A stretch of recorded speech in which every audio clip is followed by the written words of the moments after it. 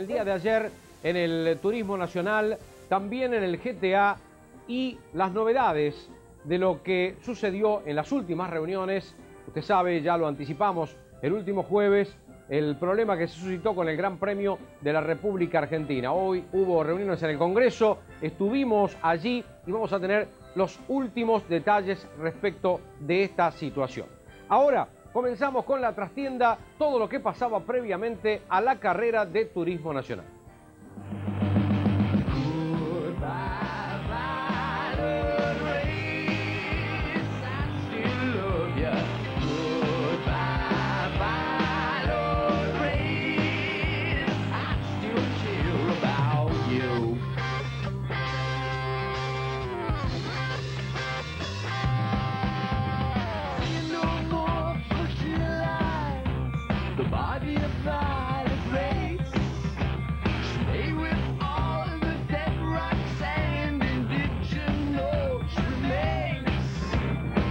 ¿Qué pasa, Adrián? No, nada, estamos mirando nomás carburación. ¿Se puede repetir el podio? No, no creo, en esta pista me parece que no. Bravo el circuito, ¿no? Y aparte trabada es bastante, bastante complicada. Sí, es bastante complicado. Igualmente tengo un auto bastante sólido. Lo que no tengo un auto rápido cuando tiene la goma nueva.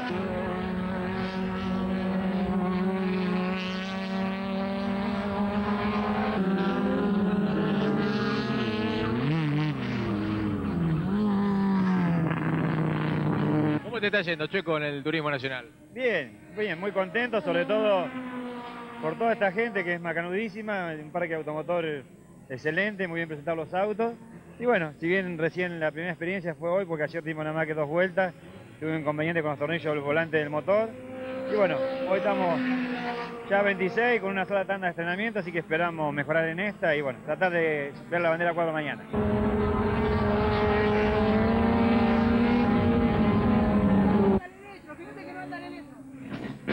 ¿Qué pasa, Claudio? Nada, tengo un poco de temperatura. ¿Qué te parece el circuito? El circuito es donde querés andar rápido te vas afuera. Así que hay que tener que andar por la pista porque hay mucho despiste, ¿viste? Entonces, cuando te pasa un poquito te vas afuera. La peor curva es la de entrada de la recta. Y se pone un poquito complicado porque tiene tendencia a ir de trompa, ¿no? Pero tenés que salir bien armado ahí para llegar rápido al fondo.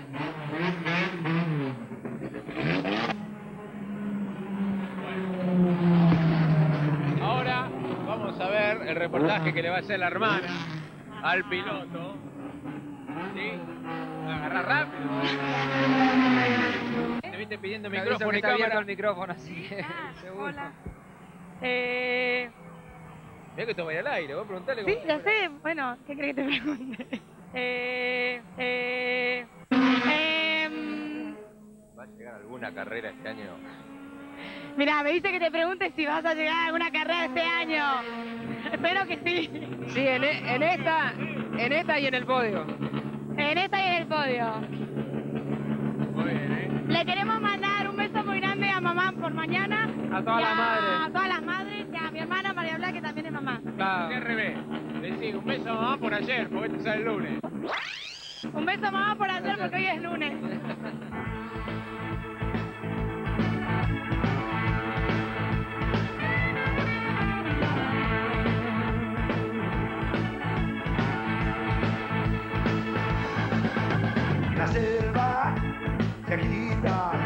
Queda un par de curvas lentas donde ahí estoy perdiendo mucho tiempo, pero bueno, Omar me dio un par de indicaciones, así que vamos ahora a probarlo, si podemos sacar mejor tiempo. Tu profesor es Uriani. Sí, la culpa es de él si hago mal. Profesor Suriani. ¿Profesor de qué? Profesor de manejo. Ahí me acaba de decir Palópoli que le explicaste cómo hay que girar. Sí, así anda, pobre Palópolis. Eh, ¿Cuál es la curva más complicada de este circuito? No, para los polos se nos está complicando, por lo menos en el caso de mi auto, en las curvas lentas. Las curvas rápidas van bastante bien.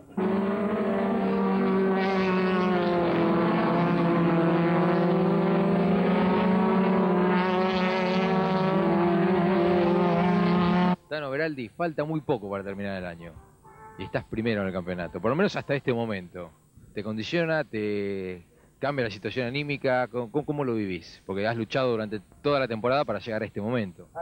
Sí, gracias a Dios, sabes que se trabaja mucho eh, durante todo el año, no para una carrera especial. Y bueno, estamos ahora tranquilos, yo creo que hay que pensar en las carreras, no en el campeonato. Porque te puede jugar una mala pasada. Entonces, tenemos un auto, un equipo, apoyo, tenemos todo, así que creo que hay que pensar carrera tras carrera, que es lo importante. Eh, y bueno, de acá en más, creo que tenemos estas tres carreras eh, con estas cuatro, no sé, cuatro finales. Hay que tomar las cosas con mucho recaudo. Y bueno, así apuntaremos al campeonato. ¿El rival más difícil cuál es? Ah, yo creo que acá no pasa por rival, son todos, hay excelentes pilotos que no están peleando el campeonato y no podemos sacarle cualidad de ninguno, simplemente por una cuestión de, ¿no es cierto? de, puntaje, tengo a César, a Tanoni, a Claudio Viseira, los más cerca, son tres autos, tres equipos muy buenos, pero yo realmente tengo muy buen equipo, eh, con mucha fe como para poder pelear el campeonato.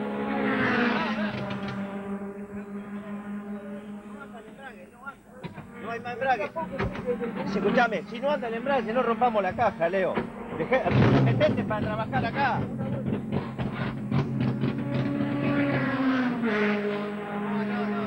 Bueno, la gente te conoce por el TC, pero ahora estás en el Turismo Nacional, Mauricio. Contame cómo viene esta experiencia. Bueno, es mi primer carrera que voy a hacer en el TN. Eh, bueno, después de un año que estuvimos parados, de, de haber parado en el TC, bueno, venimos al TN para debutar y bueno, espero que encontrarme bien dentro de esta categoría. Eh, ¿Con qué auto lo estás haciendo y con qué equipo? Bueno, eh, el auto es un Gol modelo viejo, eh, me lo hizo Edgardo Fernández, me lo atiende Cachín en la parte chasis y el motor es de Mario Rodríguez. ¿Escuchaste, mi viejo? Sí, a tres, a tres décimas. No, bien, miralo esta noche por carburando.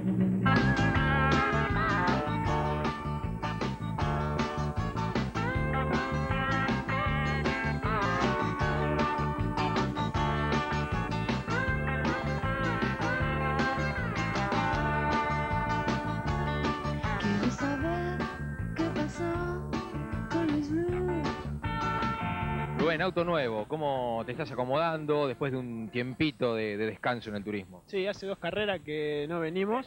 Y bueno, es un auto que es igual que el de Estambul. Va realmente muy rápido el auto, por eso me complicó con el carburador. Se me quedó trabado a 4.000 vueltas y en retome era casi imposible hacerlo. Y bueno, ya a su vez en la clasificación me fui afuera en un retome, pero me quedaba muy acelerado el, el motor, entonces cada momento de frenar, eh, las 4.000 vueltas me seguían acelerando el motor y era imposible pararlo, ¿no?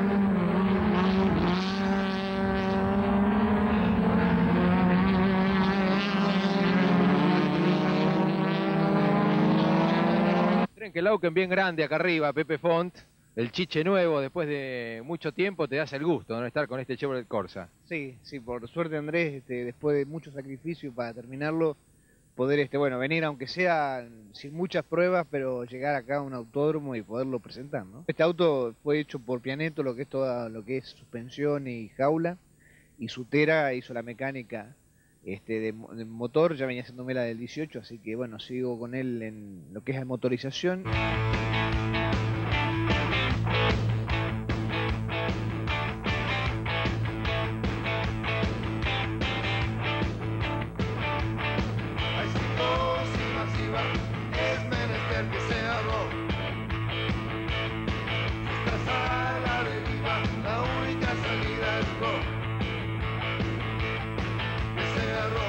Todas las Como le prometí entonces, ahora sí, vamos a comenzar a ver lo que pasó en las series y la final. Para ello va a acompañarme Cristian González Rouco, mi hijo, para que el que estuvo relatando allá la carrera un poco nos explique, nos comente y nos vaya diciendo todos los detalles y alternativas de lo más importante. ¿Qué tal, Cristian? Buenas noches. Buenas noches, después de un fin de semana excelente en lo que hace al clima y también a los espectáculos, vamos a ofrecer las imágenes más importantes de lo que sucedió en esta novena fecha del Turismo Nacional en Olavarría, teniendo en cuenta que después vamos a tener tiempo de verlas más tranquilos el día miércoles a las 18. Bueno, ya mismo le propongo entonces comenzar a ver lo que pasó en ambas series.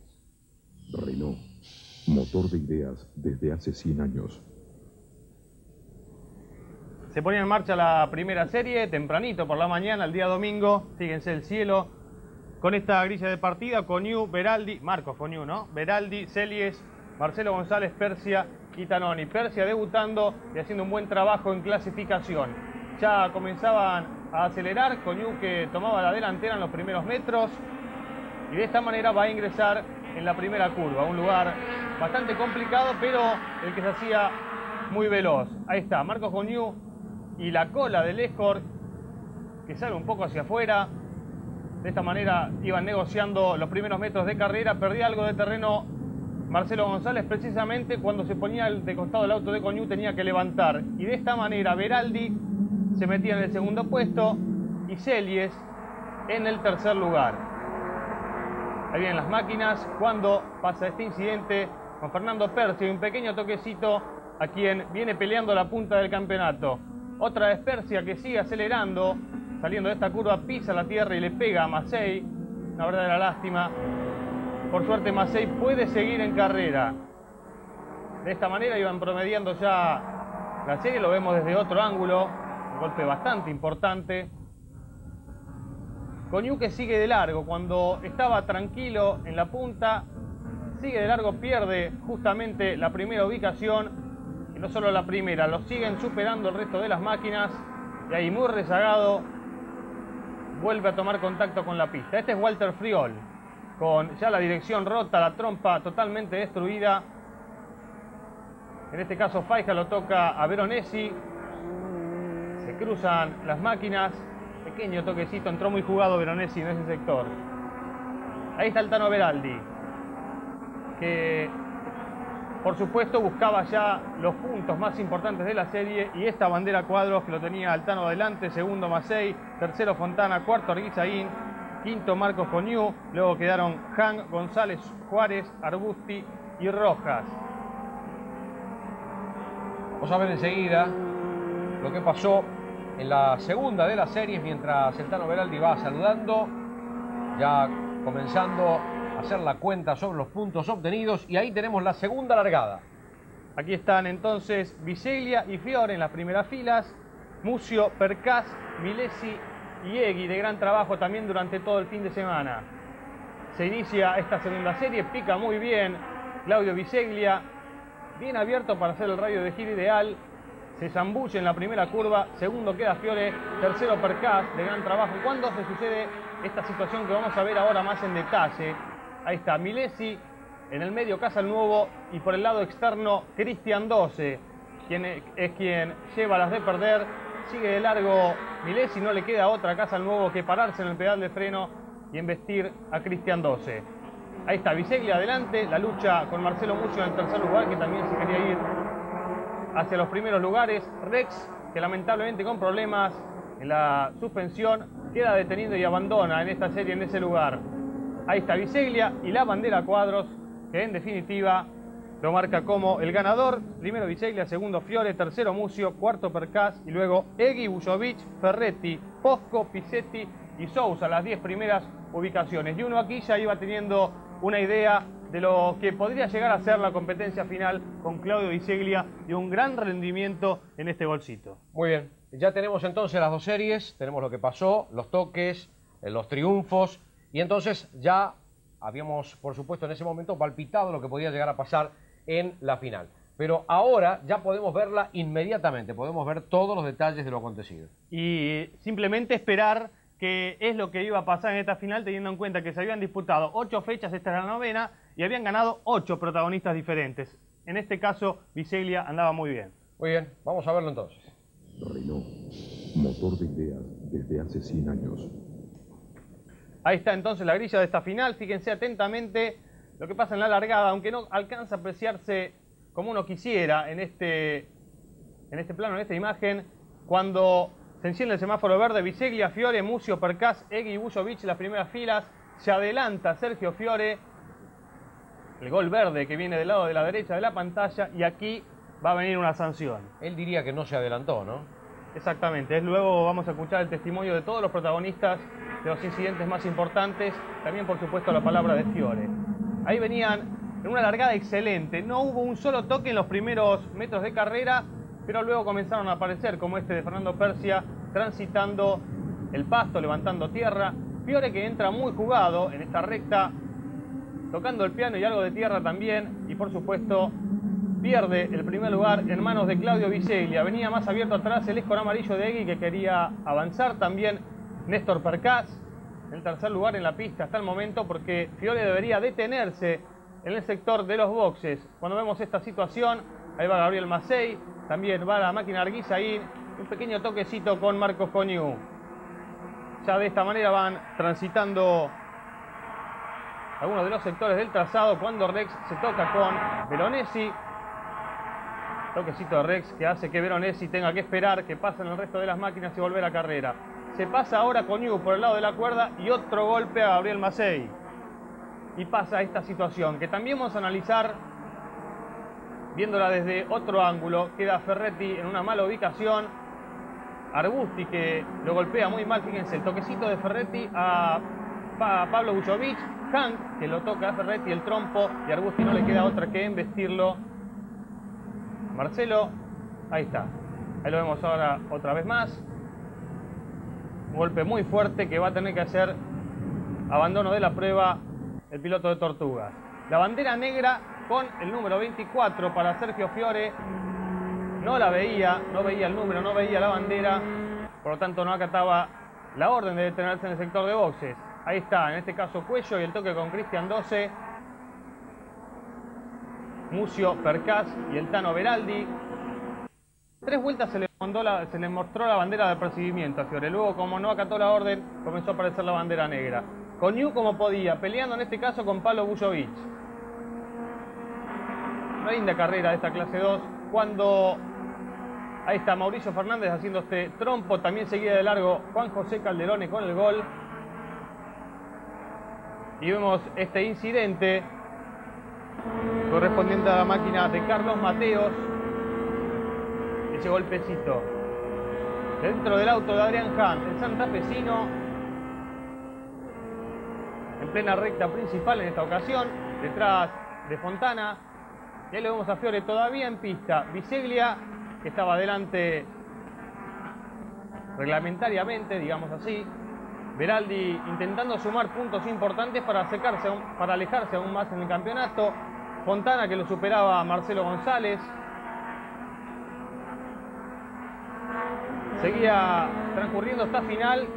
Se venía las últimas vueltas, los últimos metros. Y otra vez Veronesi, protagonista de este incidente. En este caso con Mauricio Fernández, también este piloto que en alguna vez, en alguna oportunidad, estuvo en el turismo carretera. Ahí sí, Fiore ya directamente pudo ver las señales del box, la bandera y se metió en los boxes. El trompo de Marcos Coniu, que no las tenía todas consigo, y el empujoncito a Marcelo González de parte de Adrián Hang en la lucha por las posiciones de atrás. Ahora es el local el que tiene este despiste. Ahí está Fabricio Milesi volviendo cuando por afuera Coniu intentaba superarlo y otro toque más. Se paraban el freno Ángel Celis, de casualidad no los embestía y ya comenzaba el saludo de Claudio Viseglia, este joven que va muy rápido con elementos de balestrini en el motor, con Gaby Rodríguez en la preparación del chasis y la alegría de toda la familia. La clasificación final entonces con Viseglia, Mucio, Percas, Beraldi, Arguizaín, Macei, Fontana, Marcelo González, Casalnuovo y Juárez.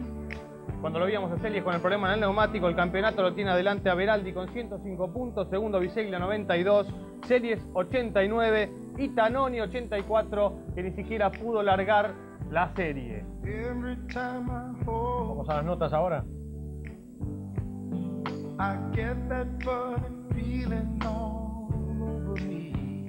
Un fin de semana muy duro, pero que pudiste demostrar desde las pruebas que tenés un auto contundente, sólido, en especial en el momento de definir. Sí, tenía un auto bárbaro, Gabriel Rodríguez me entregó un chasis espectacular, tanto como Rafael Balestrini en el motor, así que muy contento porque tengo un equipo que trabaja mucho. Resolviste rápido el tema de Fiore, sabías que estaba recargado y después excluido. Sí, yo vi que ya venía con el recargo, entonces ya empezaba a manejar la carrera con el espejo para correr por Marcelo que se me venía, pero bueno, después eh, él no sé qué le pasó, se quedó y ahí pude agarrar la punta y poder ganar. But where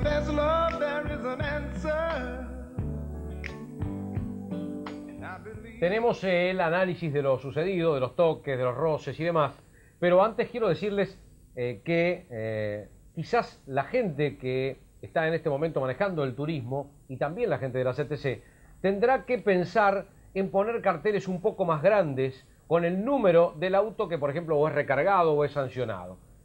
a- el número estaba, era un poco chico. No sé si es justificativo, no quiero justificar a los pilotos que no lo ven. Simplemente quiero decir que a lo mejor pongamos un poquito más grandes y entonces nadie puede decir absolutamente nada y ver a lo mejor si el lugar es el adecuado o el ideal como para que el piloto pueda verlo. Porque es raro que vayan ya varias carreras en las cuales sucede más o menos la misma situación.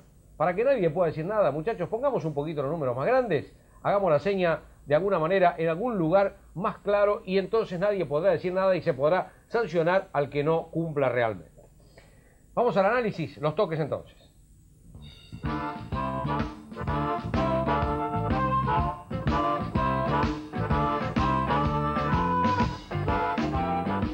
¿Por qué no pudiste largar esta carrera de Olavarría, Walter Tanoni? Y ya veníamos con un problema que ayer el motor empezó a andar cada vez menos y otra vez los motores no- me jugaron una mala pasada, esta vez salgo de boxe y iba en tercera y, se explotó, se salió una biela afuera, así que otra vez los motores, bueno, de- en este caso de Ignacio Bonet, otra vez nos dejaron afuera. No, venimos disputando el puesto en un pelotón muy reñido. Luego se tocan dos dos adelante, se amotona todas las filas, me pegan de atrás y me dejan afuera de la carrera. Adrián Han, ¿qué pasó con Ferretti y con Arbusti? No, con Ferretti llegando a la recta del fondo, bueno, cuando estamos doblando en segunda, aparentemente el auto de él se cruza. Yo sin querer lo toco un poquito de atrás y él, bueno, se le cruza del todo el auto. Iván Arbusti, ¿qué pasó con Ferretti y con Adrián Han? Venía avanzando bien y bueno, ellos iban en el pelotón de adelante, yo los alcanzo y se van todos un poco arriba y Fontana y yo le agarramos el radio, ¿no es cierto? Yo voy atrás de Fontana ciego y me aparece el auto que era de Ferretti, me parece que ya cruzado, marcha atrás y bueno, Fontana lo esquiva de casualidad y yo lo agarro al medio prácticamente. Primero, ¿te adelantaste en el largado o no? Yo considero que no. Pero bueno, si los comisarios lo ven como que sí, yo tengo que acatar orden. Segundo, ¿no viste la bandera de recargo ni después la bandera negra? No, honestamente no. Vi unas banderas, pero no tenían el número. Entonces no sabía, veía una indicación de mi box, pero al no tener la bandera el número no, no sabía si era para mí o era para quién era. Pero cuando te ponían box en tu box, ¿no sospechabas que era para vos? Sospechaba, por eso empecé a mirar, pero al, al no haber número no, no me quería equivocar. Me terminé equivocando y bueno, le pido disculpas a toda la gente. Fiore dijo que veía la bandera pero no veía el número. ¿Cómo se marca la bandera negra y el apercibimiento? Bueno, primero se le pone la bandera con círculo naranja con un cartel bastante grande que dice recargo y número 24 del auto durante tres vueltas. Que lo que corresponden son dos. Como en este caso la- la- la- donde se pone la bandera es un lugar un poquito complicado, se la pusimos tres vueltas. Y luego le pusimos durante dos vueltas la bandera negra. La bandera está arriba, el cartel está abajo. O sea que si él ve la bandera, la fuerza tiene que ver el cartel.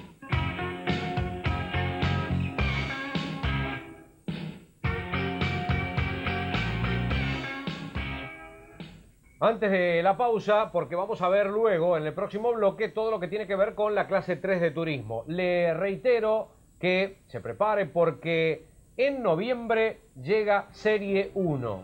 ¿eh? La revista, en este caso de Carburando, la revista que va a tener auto, va a tener test, va a tener todo lo que tiene que ver con lo más importante del automóvil y también el automovilismo deportivo. Ahora sí, pausa y seguimos. En la clase 3 vamos a ver este compacto, eh, el detalle de las dos series primeros y luego sí tendremos la final. Comenzamos entonces con la primera de las dos series. Se veía venir un muy buen trabajo de Carlitos Miguel, ya lo comentaba él, se tenía mucha fe para esta jornada de turismo nacional. Después vamos a ver lo que le sucedió en la competencia final, pero había ganado entrenamientos, eh, la clasificación y por supuesto la serie que vamos a ver ahora. Muy bien. Renault, motor de ideas desde hace 100 años. Ahí está Míguez entonces, junto a Catalán Magni, Bonomo, Fontana, Divito y De La Santina, los dos candidatos más firmes al título. Estoy hablando de Catalán Magni y Bonomo, largando en la misma serie. Ahí está, el inicio de la misma. Se va Míguez adelante, ya desde el inicio. Por afuera viene Divito, un poco más atrás. Cuando Catalán intenta emparejarlo al misionero y así ingresan en la primera curva. Bonomo lidiando con el funcionamiento del XR3 durante este fin de semana que no anduvo como quería el equipo. Cuando Divito sale de costado, de casualidad no le pega a nadie. Y de esta manera, perdiendo bastante terreno, tiene que volver a la carrera. También Oscar Pérez transitando por el pasto. Ahí veníamos, veíamos ver a los punteros. De esta manera venían conformando las primeras posiciones cuando Alzueta es ahora el protagonista de este pequeño despiste. Pasaba un poco más atrás Alejandro de Guidi, superándolo. Aquí está, Míguez, cuando fíjense lo que le pasa a Canela. Tal cual sucedió con el Titi de la Santina el día sábado en clasificación. Se rompe la llanta. En este caso queda clavada en ese sector hasta que se desprende algunos metros más adelante. También le va a suceder lo mismo en la final. Ahí venía Míguez, dominando tranquilamente la serie, la bandera, cuadros y el triunfo entonces para el misionero. Segundo quedó Catalán Magni, tercero de la Santina, cuarto Fontana, luego Bonomo, Trombini, Divito Alzueta, Tálamo y Oscar Pérez.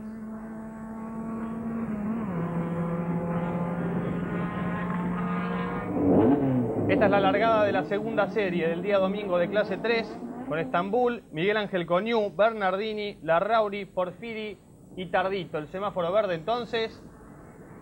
Aquí se inicia y largaba realmente de una forma impresionante el Renault 18, el de los Molinos, en Santa Fe. Ahí venía Miguel Ángel Coñú. Motorazo, eh, tenía, evidentemente. Impresionante cómo andaba el 18 en lo derecho. Ahí comenzaban a doblar todas las máquinas. Adelante Coñú. Estambul de gran trabajo también durante el fin de semana cuando hace un trompo Héctor Tardito. Por un toquecito termina lamentablemente fuera de la pista. Ahí estamos viendo lo que sucedía en las primeras vueltas cuando Claudio Tálamo sigue de largo, transita por el pasto y el golpe. Ahora entre Claudio Tálamo y Cintia Akel, que estaba debutando con este hermoso polo este fin de semana hablaba Riense. Fíjense lo que pasó de casualidad que nos vuelca el polo. Ahí pasa el Choco Romero, debutando también el fin de semana con el Escort, que en alguna oportunidad corrió Ricardo Basurto en esta temporada. El trompo de Sergio Cesa.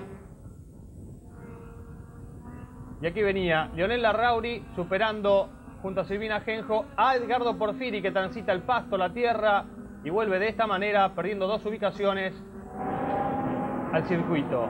Aquí está Miguel Ángel Coñú recibiendo un triunfo en esta serie para el Renault 18 en la clase 3. Primero Coñú entonces, segundo Estambul, luego Bernardini, Silvina Genjo de gran trabajo, Larrauri, Cotiñola, Chueco Romero, Suriani Membiel y Germán Suárez, las 10 primeras ubicaciones. Muy bien. El aperitivo, el primer plato, ya está de la clase 3. Como sucedió también ayer, después de las dos series, vamos a ver lo acontecido ahora en la competencia final. Renault. Motor de ideas desde hace 100 años. Por lo tanto, la serie que acabamos de ver fue la más veloz. Aquí los tenemos adelante en las primeras filas a Miguel Ángel Coñú, Estambul, a Bernardini, a Míguez más atrás, y luego a Catalán Magni y al Titi de la Santina. Catalán que quería a toda costa descontarle puntos a Bonomo en el campeonato. Fíjense lo que pasa con Míguez, que se cruza, Catalán que tiene que pisar el pasto, la tierra, tapa la visibilidad a algunos de los que venían atrás y de esta manera comienzan a transitar los primeros metros. Hubo incluso un toque entre Míguez y Catalán en esa situación. Después van a ver los protagonistas también de ese incidente. La Rauri va por el pasto, también Divito, aquí lo estamos observando. Los dos que siguen de largo, circuito muy exigente. Ahí está Leonel Larrauri con Bonomo, fíjense, ahí hay un pequeño toque. Se percibe la vibración, pero Larrauri agarra la parte sucia de esta curva hacia la derecha. Y aquí es cuando sigue de largo, con la imagen que vimos desde otro ángulo y desde afuera, por supuesto, hace unos instantes. Miguel Ángel Coñuc adelante. Estambul en la segunda posición con un excelente vehículo. Bernardini que se mandaba por la cuerda. Muy jugados los dos. Seguían de largo. También seguían acelerando para volver a tomar contacto con la pista de esta manera. Ahí está. Estambul que vuelve. También Bernardini un poco más retrasado. Catalan Magni que quería aprovechar para ascender en el clasificador. Estambul que toca la tierra. Y ahí va. Coñu y Míguez ya peleando palmo a palmo por las primeras ubicaciones y atrás se venían dando, como lo observamos, el trompo de Lisandro Battistini. Aquí vienen peleando las primeras ubicaciones, el primer puesto más que nada y el toque entre Míguez y Miguel Ángel Coñú. Por suerte pueden seguir hasta el momento los dos en pista. Coñú que se mantenía adelante Y Guntín ahora es quien lo empuja a Cotignola y lo hace pegarse contra el paredón en el ingreso de la recta principal. El semieje que se rompe en la máquina de el millonero Miguel. Lamentablemente, ahí estaba el incidente que comentábamos antes, le hace perder la carrera. Ahí está el toque ahora que vemos entre el Titi de la Santina y Omar Darío Bonomo. Alchueta que se manda por adentro y como consecuencia de esto pierde la posibilidad de seguir el ritmo de los punteros el Titi de la Santina.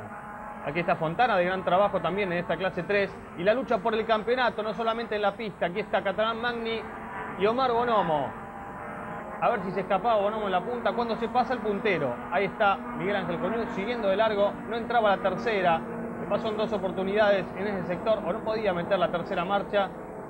Y aquí perdía la punta, quedaba en manos de Daniel Estambul. Segundo Bernardini y quedaba tercero el de los Molinos. Otro toque más.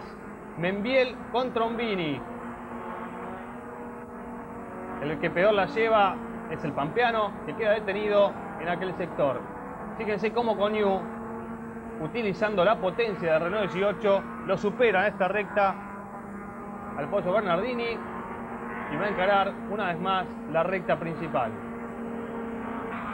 Adelante estaba Estambul, que había logrado unos metros de distancia cuando Bonomo se detenía en el sector de boxes, había comenzado a fallar, en tres cilindros estaba el Escort y luego no arrancaba. Fíjense lo que les comentaba antes, Canela y la rotura de la llanta exactamente igual que en la serie. Ahí está, Oscar Pérez bloqueando ahora, casualidad que no le pega al Chueco Romero, de muy buena actuación también. Y en este caso escuchamos hasta el sonido del bloqueo de Cotignola que sigue de largo. Vuelve a pista de esta manera cuando ahí vienen los punteros.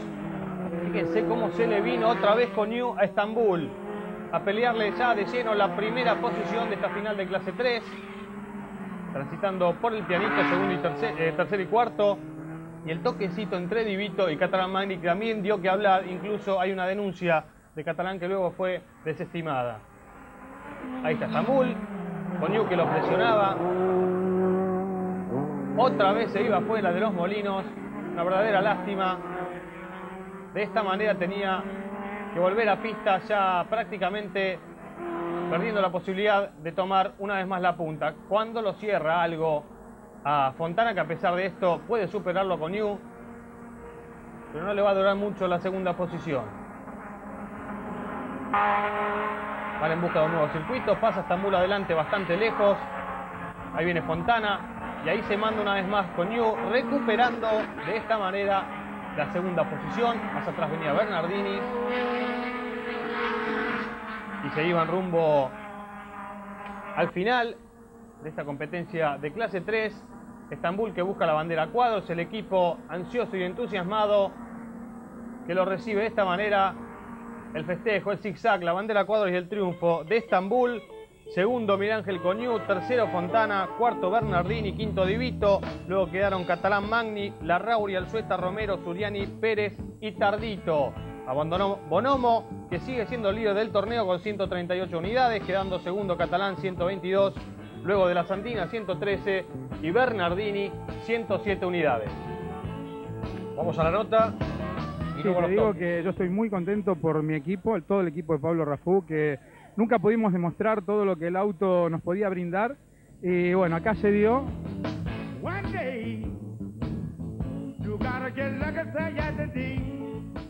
Como le anticipé, también aquí, también en la clase 3, tenemos el análisis y la palabra de cada uno de los protagonistas por los toques acontecidos. ¿no? Generalmente había un gran espectáculo de la clase 2, también uno muy bueno de la clase 3, pero era superior al de la 2. Creo que en esta ocasión se dio a la inversa y nos divertimos más con la clase 3. Vamos a ver qué decían los muchachos.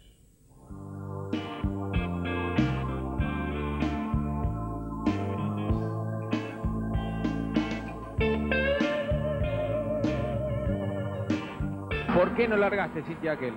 Bueno, porque tuvo un toque con Tálamo, creo que salió de pista él, ingresó sin mirar y bueno, me arruinó el fin de semana. Omar, una carrera muy complicada. Contame qué te pasó. Bueno, es complicada porque el auto no funcionaba bien. El auto tiene un problemita adelante, no, no, no está como en todas las carreras. Debe haber un problema se está moviendo algo, eh, porque no tiene la tracción que tenía en, las, en los otros circuitos. Pero bueno, también a eso le sumamos el motor que no, no prendía bien de abajo, sí tiene, tiene cuarta y quinta, tiene una velocidad bárbara, pero eh, de abajo está un poquito lento y encima los 60 kilos acá le, le dolió mucho. Bueno, ¿cómo fue el tema con Coñu, Miguel?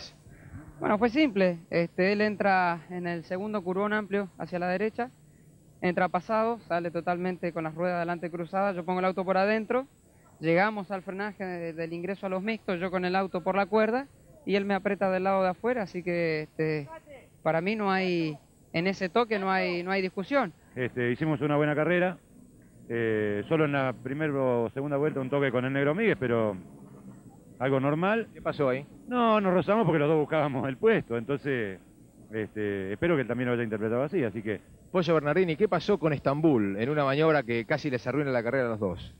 Sí, eh, realmente por ahí me, me equivoqué un poquito, ¿no? Pero eh, gané la cuerda, no me la dejaba, bueno, se la gané y frené un poquito sobre lo sucio, me pasé dos metros. Doblaba yo, pero bueno, él, él dobló un cachito antes y me tocó atrás y fuimos los dos afuera. A Bernardini este, me quiso pasar realmente en, la- en una S donde ya estaba todo mi auto metido y salimos los dos. ¿Qué pasó con Catalán Magni? Y con Catalán en la largada, este, yo largo bien, él también largó, se nota un poquito mejor que yo. Yo me pongo sobre la línea blanca y bueno, y él, este, él viene a- hacia la derecha y creo que viene con dos ruedas en el pasto. Para mí la- el límite de la pista es la línea blanca. Yo largo bien, me pongo por adentro, eh, Miguel se cierra, se cierra, se cierra y me lleva a la tierra. Este, yo vengo mordiendo una rueda en la tierra, pero no tengo opción, tengo el auto a la par de él, si levanto pierdo tres lugares. Llegamos a la curva 1 y bueno, pude doblar adelante de él. En la serie una rueda y en la final la otra. Y en la carrera la otra rueda para completar, así que bueno, quedé afuera lamentablemente, venía haciendo una linda carrera, me tocó parar. Ariel Levito, ¿qué pasó con Catalán Magni? Bueno, Andrés, eh, una maniobra, eh, pienso que salgo de la, de la chicana. Eh, ya en dos oportunidades traté de superarlo por afuera. Bueno, él se movía hacia un lado hacia el otro. Y bueno, cuando llegamos al frenaje, se me desprende el matafuego. Y en el, bueno, en el revoleo eh, se me mete entre los pies y logro tocarlo. Divito no entiendo qué quiso hacer, se pasa en la recta opuesta, eh, me pega realmente de una forma muy rara y me saca afuera, me hace perder este, un puesto que, a esta altura del campeonato dos puntos son muy importantes, yo igual hice la denuncia para, para que se revea la situación porque fue un, golpe realmente rarísimo.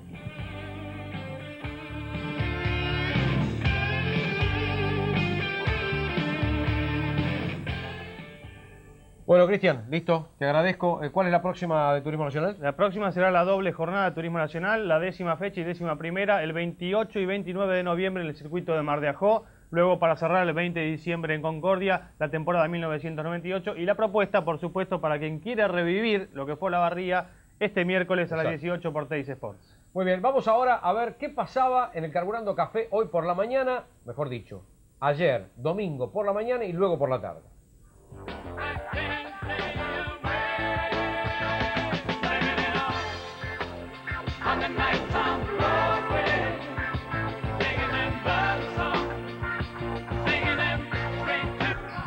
Marcelo López, acabas de ver por la pantalla gigante todos los monitores del Carburando Café Turismo Nacional. ¿Por qué lo ves y no, y no lo, no lo sentís de adentro?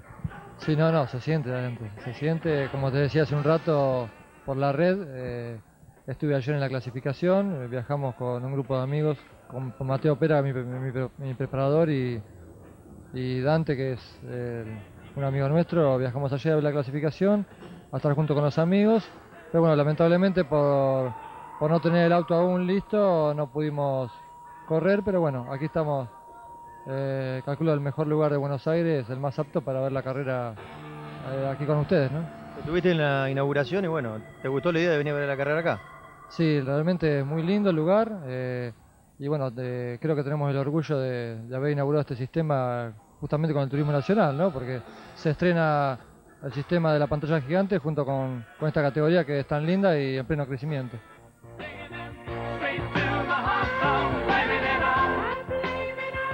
Mira, ¿no te gusta? Sí, pero la carrera me gusta más.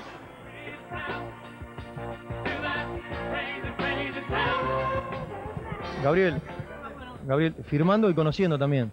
Sí, sí, la verdad que, bueno, primero ante todo un orgullo, ¿no? Tener este box eh, acá, realmente, eh, viendo cosas que uno eh, no viejas, de- que tenía de recuerdo y, y bueno, me dice eh, la gente de Carburando que hay muchas cosas más guardadas para ir cambiando, así que realmente estar sentado en el box de uno parece mentira, siento una sensación rara. José María Volta, José, eh, no viniste en la inauguración porque estaba en el rally, ¿te gusta? Hermoso, la verdad es muy lindo, eh, es bárbaro esto que han hecho, eh, realmente nos sentimos muy cómodos. César Perla de Promo Rally, ¿qué te parece todo esto? Hay cosas de, de tu gran amigo Carlitos Menem también. Sí, lo- me, me- me entusiasmó mucho la, la idea que tuvieron, es muy lindo y aparte vi el, el buzo Carlito cuando fuimos una vez a correr a, a todas las carreras del Mundial. Muy lindo, la verdad que está, está todo lo que tiene que estar, ¿viste? después lo van a ir reponiendo o cambiando, me parece bárbaro. Encima las imágenes que hay acá de los rally que estuvimos este año, es muy lindo, la verdad, está muy cómodo.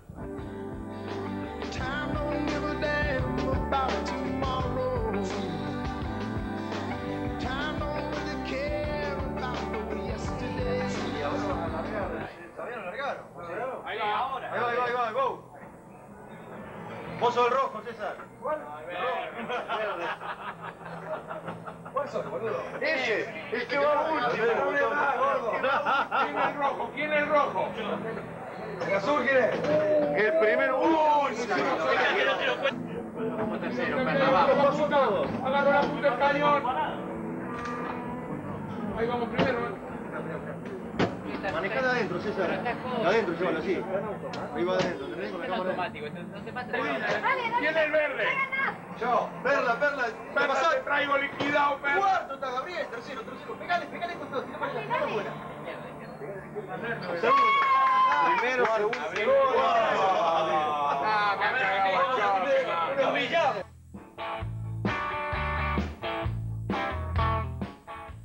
Muy bien, y con este clima que se vivía nos vamos a la pausa para luego sí ofrecerle a todos ustedes lo que quedó, el detalle de este problema que surgió para el Gran Premio de Argentina de Fórmula 1 y también el GTA y todo lo que pasó. El GTA, el Gran Turismo Americano, se presentó en el circuito de Avellaneda en Santa Fe. Ayer ustedes seguramente lo pudo ver por TIC Sport a partir de las 14 horas. Nosotros ahora le vamos a ofrecer rápidamente un resumen. Ahí está la primera de las largadas. Gastón Aguirre se va en punta. Allí llegan a la primera curva.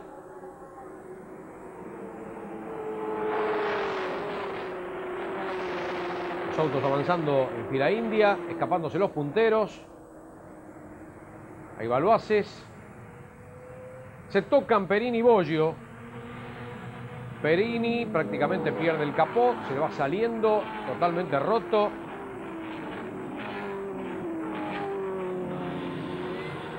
Se va destrozando de a poquito.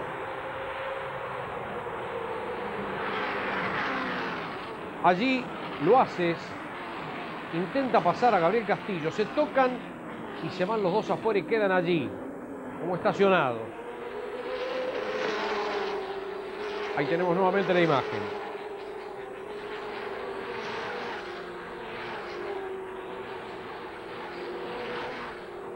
Vamos a ver ahora el trompo de Jorge Puglia. Ahí está. En primer plano. Se queda Bianco, que venía tercero. Ahí se baja de su auto. La recta para los punteros.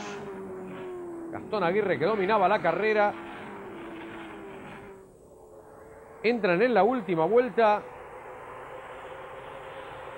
Se acerca a Iracet. Le pelea la primera posición a Gastón Aguirre.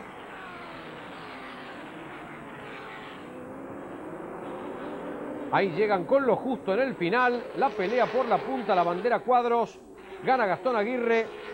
Segundo Iracet. Tercero Fernando Bollo. Cuarto Banrel. Quinto Rubén Bule. Y sexto Juan Manuel Fernández. Dos Chevrolet Lumina y un Ford Thunderbird en la tercera posición.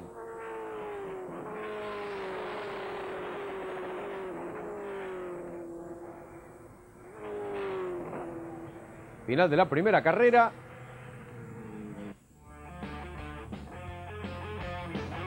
Ahí está Gastón. Feliz por el triunfo. Portese bien Iracet en las dos últimas vueltas. Es más, en la última te pone el auto faltando pocos metros. Sí, que también tiene muy buen auto, igual mejor el mío, viene 100 kilos. Y Y bueno, yo la verdad que venía cuidando un poco todo. No es que venía despacio, pero venía cuidando. Vamos inmediatamente a ver qué pasó en la segunda carrera. Ahí comienza la prueba. Avanza nuevamente Gastón Aguirre adelante. Fernando Bollo que lo persigue. Se tocan Van y Perini.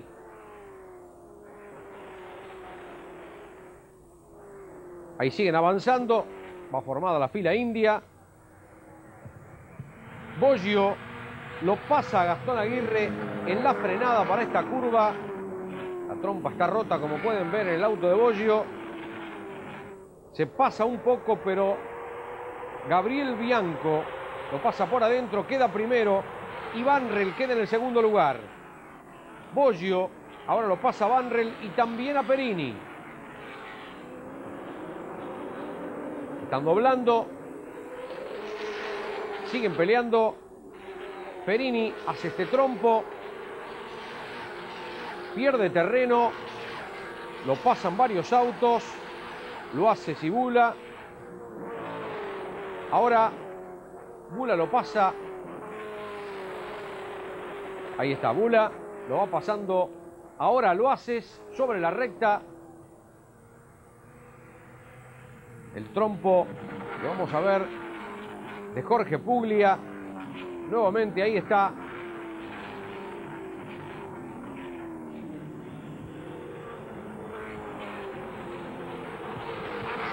Bianco, Boggio, Bula, Luaces, Perini, Banrel. El orden. Mire cómo vienen este grupo muy junto. Cuando allí Perini lo va a pasar a Luaces, se tocan. Luaces este, hace este trompo, entra a la pista de casualidad. No se lo llevan puesto a él y él no los toca a los demás. Y sobre la parte final, vamos a ver un trompo de Carlos Saiz. Allí lo tenemos justamente haciendo este trompo. Y viene el final de la carrera. Triunfa Gabriel Bianco con Thunderbird. Segundo Fernando Boggio. Tercero Rubén Bula.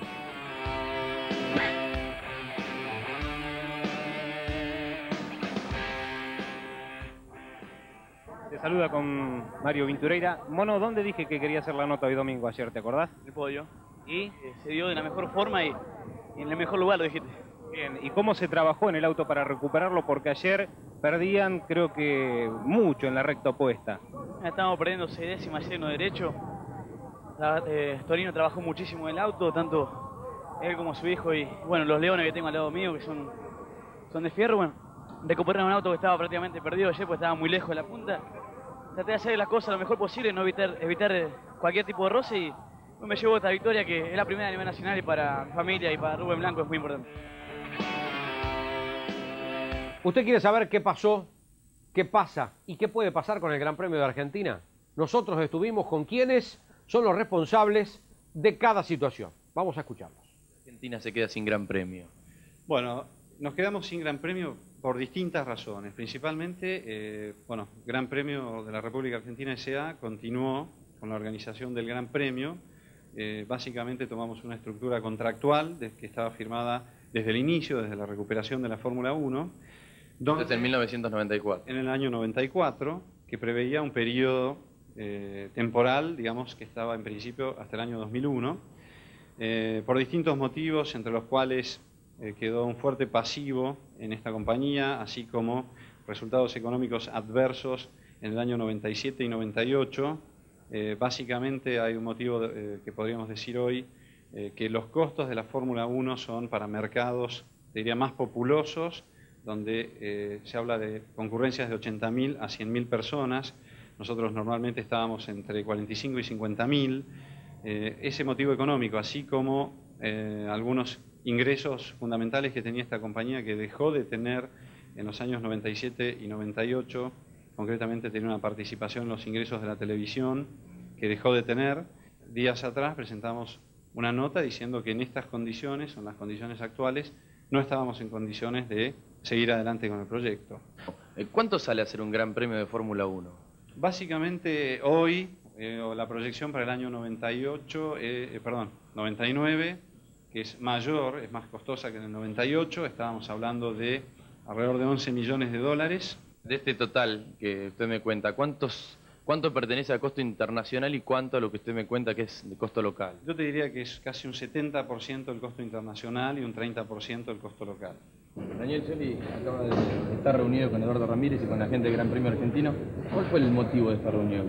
La preocupación que, que tengo, como todos los argentinos, sobre la continuidad del Gran Premio de Fórmula 1 y lo que implica eso para nuestro país, porque se ha hecho un gran esfuerzo en, incorporar la Ciudad de Buenos Aires como sede de una de las de los 17 Gran Premio y se han coincidido una serie de factores, eh, uno de reglamentación, una legislación que hay acá en la Ciudad de Buenos Aires, que yo venía reclamando que se derogue sobre la prohibición a las tabacaleras de hacer publicidad, dicen publicidad tiene que ser blanco y negro en vía pública, una cosa ridícula no existe en ningún país del mundo, puede haber restricciones, puede haber distintas maneras de, advertir sobre lo perjudicial que es para la salud eh, fumar, pero de ahí a que la publicidad tenga que ser blanco y negro, ya Eccleston había anticipado a las autoridades de gobierno de la ciudad su eh, disconformidad con esto y la amenaza que producía y la incertidumbre que iba a generar para el futuro del Gran Premio.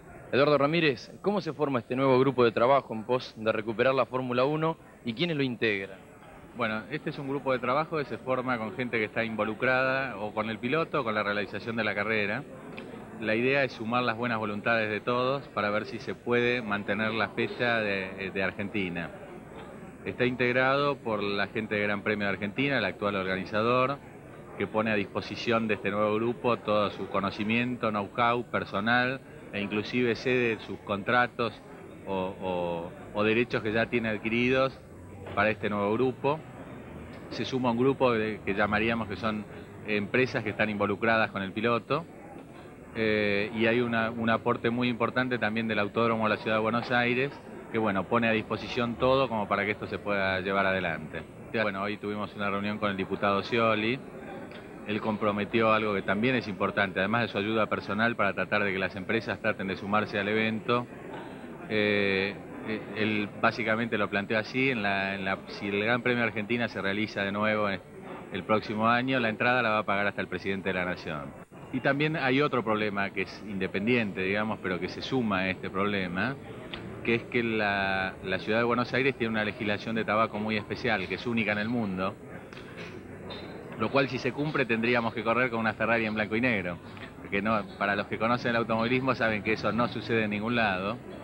Y genera una política un poco incierta que genera ciertas dudas a, la gente de Fórmula 1, eh, qué es lo que va a pasar en el momento de la carrera. Y bueno, ustedes saben que todas las inversiones, el trabajo que se hace en Fórmula 1 son cosas de largo plazo, planificadas, y no podemos estar en una situación incierta al momento de la carrera. Y las soluciones no se encuentran muy rápido, creo que Argentina puede perder la fecha y creo que si la pierde esta vez puede ser definitiva. ¿Cuánto afecta esto a tu trabajo con Esteban Tuero? Y tiene eh, Esteban Tuero y la carrera de Argentina se necesitan mutuamente, porque para la carrera de Argentina es muy importante la presencia de un piloto argentino, y para Esteban Tuero y sus oficiantes es muy importante desde el punto de vista promocional que una de las fechas se realice en Argentina. Bueno, así está la situación, está muy complicado, ¿eh? realmente muy complicado, más allá de toda la intención que tiene esta gente, yo le diría que ya en este momento es casi imposible que se pueda reeditar el Gran Premio de la República Argentina, pero esperemos un poco más. El próximo miércoles a las 18 usted tendrá la posibilidad de ver nuevamente